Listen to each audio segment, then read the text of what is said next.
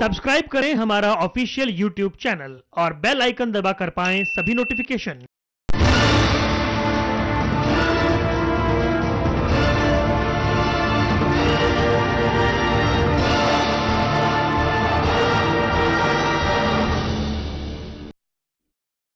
नमस्कार, आप देख रहे हैं मिचुअल न्यूज़। आपके साथ मैं हूँ आशिमा त्यागी। ठंड के मौसम में सर्दी के सितम के साथ साथ स्वाइन फ्लू भी अपने पैर पसार रहा है। पंजाब, हरियाणा के साथ साथ हिमाचल में भी एमएच वन वायरस से कई लोगों की मौत हो चुकी है और स्वास्थ्य विभाग का हर दावा फेल साबित हो रहा है। रिपोर्ट देखिए।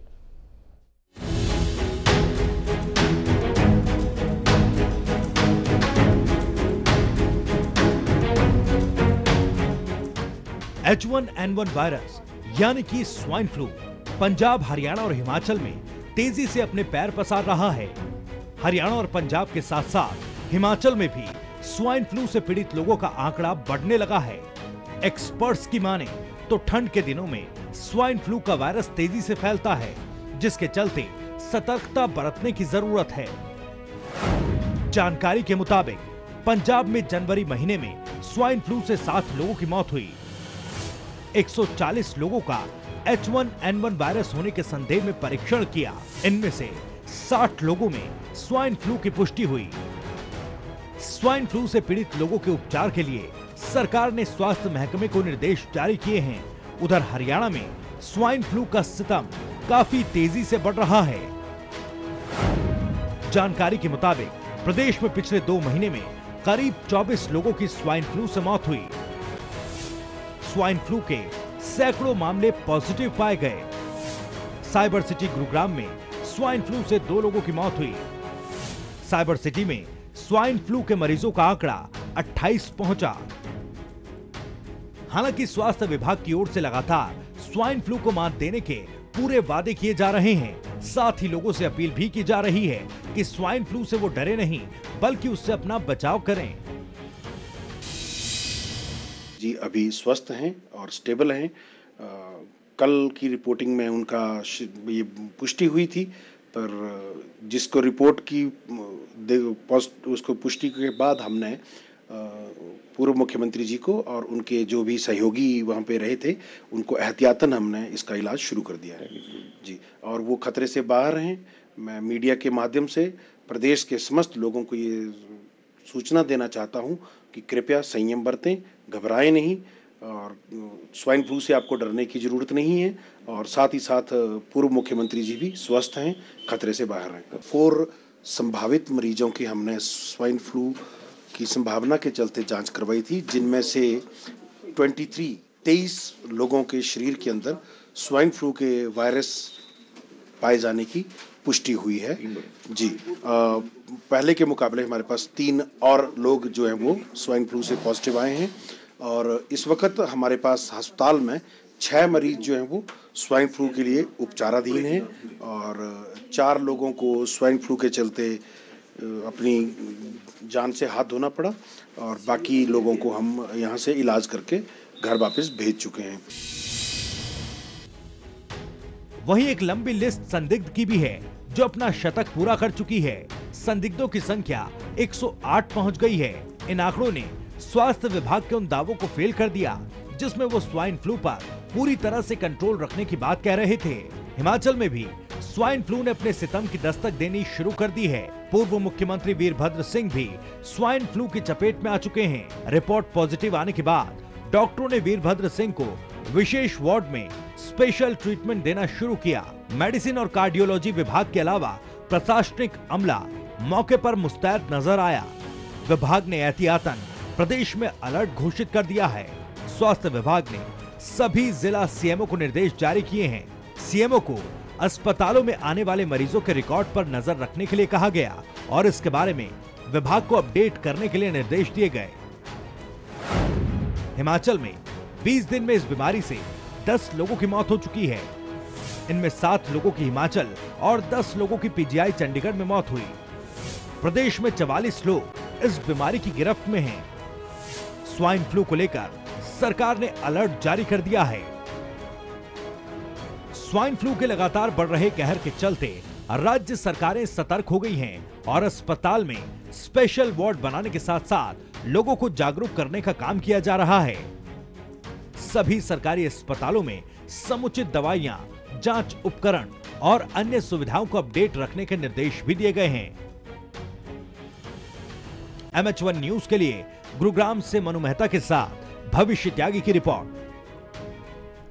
तो ठंड के साथ साथ स्वाइन फ्लू भी अपने पैर पसार रहा है अब लोगों में स्वाइन फ्लू की दहशत बन चुकी है, क्योंकि कई लोगों की अब तक इससे जान चली गई है। लेकिन स्वाइन फ्लू से आपको डरना नहीं है, बल्कि सावधानी बरतनी है। इससे कैसे बचा जा सकता है? क्या इसके रोकथाम के उपाय हैं? क्या कारण है? और एक्चुअल में स्वाइन फ्लू क्या है, यही जानेंगे। और क्योंकि इसी पर हम चर्चा करेंगे, हमारे साथ स्टूडियो में मौजूद है डॉक्टर तनवीर अहमद, जो कि हेल्थ एक्सपर्ट हैं और पार्क हॉस्पिटल के डिप्टी एम हैं। बहुत बहुत स्वागत आपका। थैंक यू बिल्कुल हम आपसे पहले डॉक्टर यही जानना चाहेंगे कि आखिर स्वाइन फ्लू है क्या? एच वन एन वन है क्या? एक्चुअली सबसे पहले मैं बताना चाहूँगा कि स्वाइन फ्लू जो है वो एक रेस्पिरेटरी इन्फेक्शन है। जी। जो कि ये मतलब इनहेल जो वायरस उसका होता है जो। इनहेल कर लेता है उससे ये डिज़ीज़ बन जाती है। और ये एक इन्फ्लुएंजा वायरस होता है जो पिग में पाया जाता है। वैसे पहले ये कहा जाता था कि जो लोग पिग के कांटेक्ट में हैं उनके उनसे ये फैलता है। बट ये कि आजकल ये कि ये एयरबॉर्न डिज़ीज़ है। एयरबॉर्न डिज़ीज़ है और ये पेशेंट टू पेशेंट वेरी करता है। पेशेंट टू पेशेंट फैलता है और उस सबसे पहले ये कि हम इसको पेशेंट टू पेशेंट वेरी कर लेता है। ये जो पेशेंट उसके दूसरे कॉन्टैक्ट में आता है उसको ये स्वाइन फ्लू हो जाता है। बिल्कुल हम अगर स्वाइन फ्लू की हम जिस तरह से बात करें क्योंकि लोगों में अब दहशत बन चुकी है और लोगों को शायद हल्का सा सर्दी जुकाम कुछ भी इस तरह की चीज़ें होती है तो वो डॉक्टर का रुख कर लेते हैं हॉस्पिटल का रुख कर लेते हैं उनको लगता है कि कहीं ना कहीं वो कहीं इस ना इस वायरस से संक्रमित तो नहीं हो गए हैं। लेकिन हम आपसे जानना चाहेंगे उन दर्शकों के लिए उन लोगों के लिए जिसमें स्वाइन फ्लू का दहशत बनी हुई है। तो ऐसे में सिम्टम की अगर बात करें तो उसके सिम्टम क्या है? इसके स्वाइन फ्लू की सिम्टम्स ये हैं कि फीवर हो जाता है। सोर थ्रोट होता है गले में खराश होती है गले में खराश है फीवर है हेडेक है बॉडी एक है और कभी समटाइम्स डायरिया वॉमिटिंग हो जाता है। जी। तो उससे डरने की ज़रूरत नहीं है उसमें इमीडिएट अपने चिकित्सक को डॉक्टर्स को दिखाएँ हम्म, और वो उसको इन्वेस्टिगेट करेंगे। हम्म, उसमें H H one N one के इन्वेस्टिगेशन है प्लस एक्सरे वगैरह है तो लैब टेस्ट भी हैं प्लस इमेजिंग टेस्ट है ताकि उससे पता चले कि भी एच वन है या नहीं है। इसमें डरने की कोई ज़रूरत नहीं है इसका ट्रीटमेंट है। बिल्कुल लेकिन इतने तमाम अलर्ट क्योंकि इतनी सावधानी बरती जा रही है लोगों को जागरूक भी किया जा रहा है इसी के चलते लेकिन इतनी सावधानी बरतने के बावजूद भी लगातार क्योंकि पिछले साल की अगर बात करें तो अब इस साल काफ़ी जो मामले हैं वो स्वाइन फ्लू के सामने आ चुके हैं। कई मौतें भी हो चुकी हैं आपने रिपोर्ट भी देखी यहाँ पर डॉक्टर तनवीर अहमद तो ऐसे में ये कारण क्या है कि आखिर फैलता जा रहा है? असल में यह है कि मौके पे इसको मतलब ट्रीटमेंट नहीं हो पाता मालूम नहीं हो पाता। जब तक वो वो उस स्टेज तक पहुँचता है तो लास्ट मोमेंट आ जाता है। तो उसमें इन्वेस्टिगेशन ज़रूरी है। H one H one N one जो इन्फ्लुएंजा है उसको इन्वेस्टिगेशन ज़रूरी है। और इन्वेस्टिगेशन करने के बाद ही पता चलता है कि ये ये ये स्वाइन फ्लू है। तो स्वाइन फ्लू से डरने की कोई बात नहीं है और इसका ट्रीटमेंट है।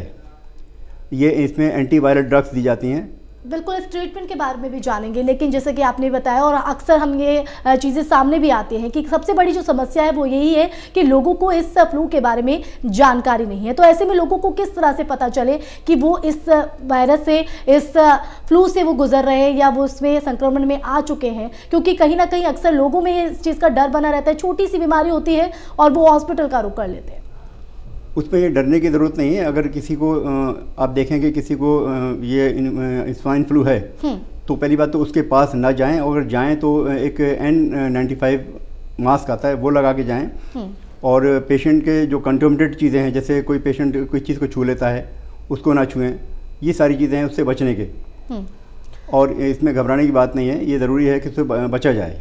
बिल्कुल लेकिन दूर रहें एटलीस्ट कम से कम छः फीट दूर रहें और पेशेंट के पास अगर जाते हैं तो मास्क लगाएँ और ग्लव्स पहनें। बिल्कुल लेकिन जैसे कि आपने सिम्टम बताया कि अगर तेज़ दर्द सर में दर्द हो रहा है जुकाम हो गया है या गले में खराश ये इस तरह की चीज़ें नॉर्मल भी होती हैं क्योंकि आमतौर पर सर्दी के मौसम में आमतौर पर इस तरह की बीमारी हो जाती है। लेकिन स्वाइन फ्लू और इस तरह की जो छोटी मोटी बीमारियाँ होती है उसमें किस तरह से अंतर देखा जा सकता है? कैसे पता करें कि ये नॉर्मल है और ये स्वाइन फ्लू? उसमें होता है कि अगर पेशेंट को सोर थ्रोट हो रहा है फीवर हो रहा है चिल है फटीग है हम्म। और साथ साथ उसके डायरिया वॉमिटिंग हो रही है तो इमीडिएट इन्वेस्टिगेट कराएँ। कि स्वाइन फ्लू तो नहीं हो गया और इन्वेस्टिगेशन से ही पता चलता है क्योंकि डायरेक्ट इसका वायरस जो है वो सीधे लंग्स में जाता है हम्म। और लंग्स को इन्फेक्शन शॉर्टन ऑफ़ ब्रीथ होती है लंग्स में प्रॉब्लम होती है बहुत दूर दूर से आवाज़ें आती हैं। हम्म। तो उसमें इन्वेस्टिगेट एक्सरे कर सकते हैं लैब टेस्ट से पता चल जाएगा ये प्रॉब्लम है इसको स्वाइन फ्लू हो गया है। हम यहाँ पर तनवीर अहमद जी आपसे ये भी जानना चाहेंगे क्योंकि जिस तरह से मामले लगातार बढ़ रहे हैं क्या अभी तक कोई ऐसा मरीज़ आप तक पहुँचा है? किस तरह से आप इलाज करते हैं? किस तरह के आप सजेशन उनको देते हैं? हम जानना चाहेंगे। देखिए अभी तक हमारे पास नंबर ऑफ़ पेशेंट तो काफ़ी आए हैं स्वाइन फ्लू के।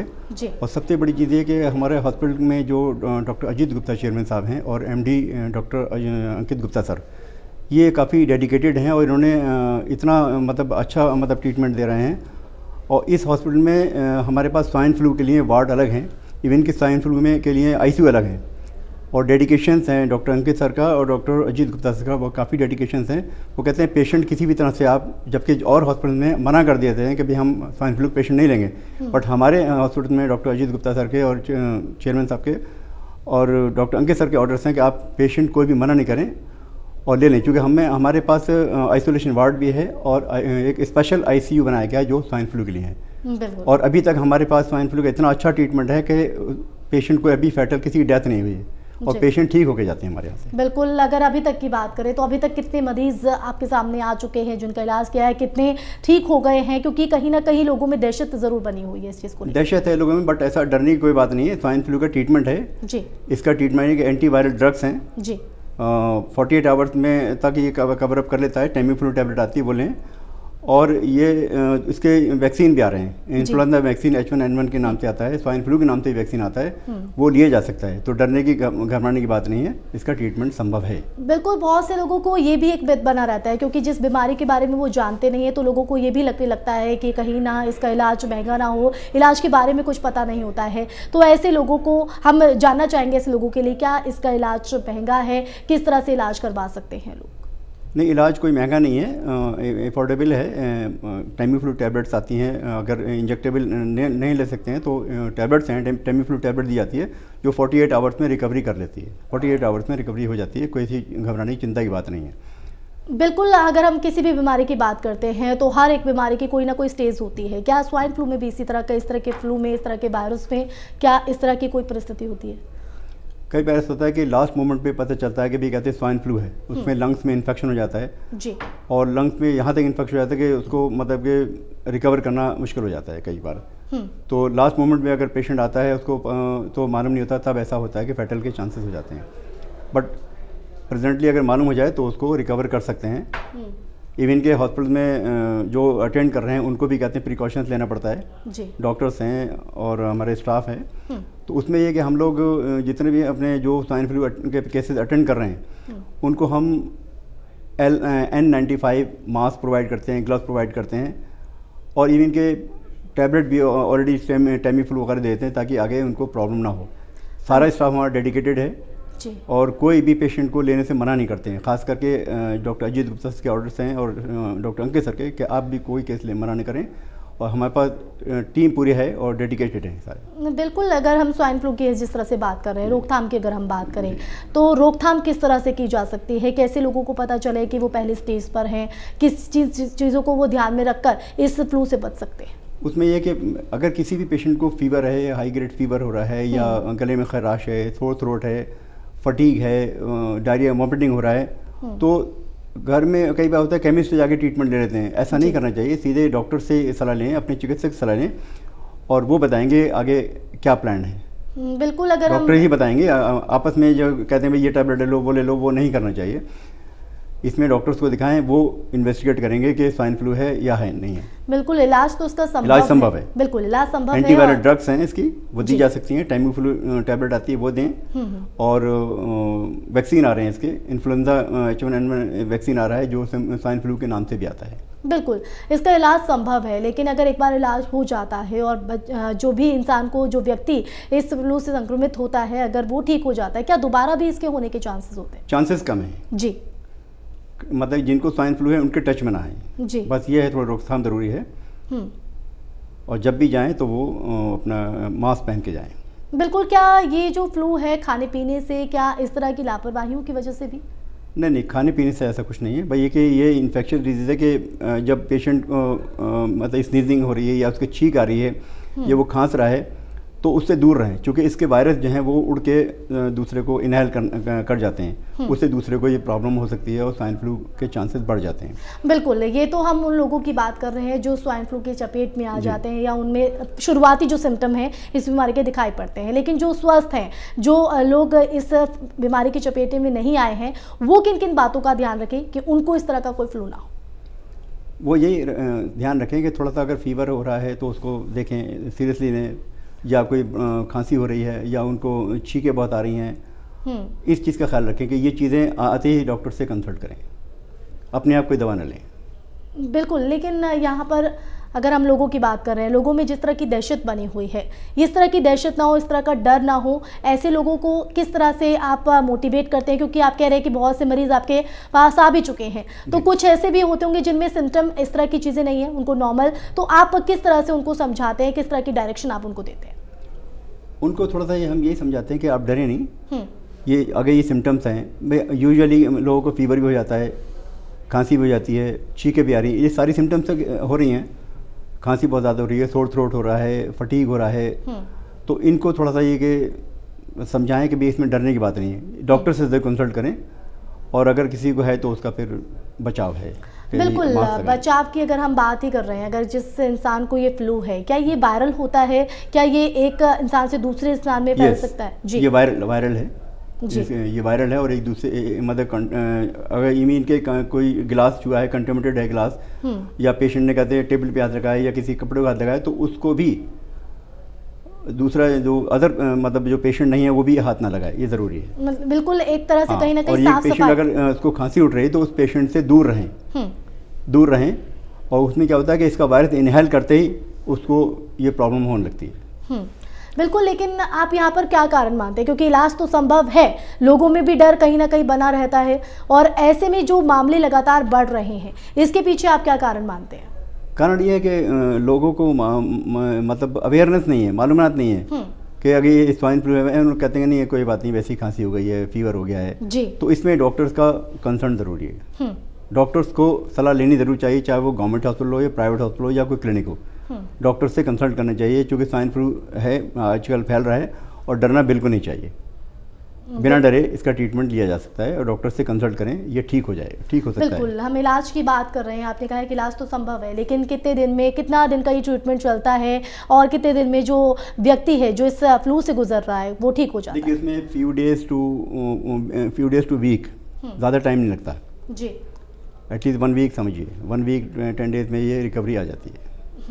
बिल्कुल अगर हम जिस तरह से आपने कहा कि जब लास्ट स्टेज पर अगर इस फ्लू में पहुँच जाता है जैसे कि लंग्स अगर उसे संक्रमित हो गया है तो कहीं ना कहीं उसका बच पाना बेहद मुश्किल हो जाता है। अगर फ़र्स्ट स्टेज और सेकंड स्टेज की बात करें तो उसमें क्या डिफरेंस है कैसे पता चल पाए उसमें होता है कि अगर सेकेंड थर्ड स्टेज पहुँच गया है पेशेंट तो उसमें हमारे जो इमेजिंग है एक्सरेज हैं वो बताते हैं कि इसमें कितना इन्फेक्शन हो गया है। हम्म, लंग्स में अगर आप एक्सरे देखेंगे बिल्कुल वाइट नज़र आएगा जैसे लंग्स है ही नहीं। हम्म।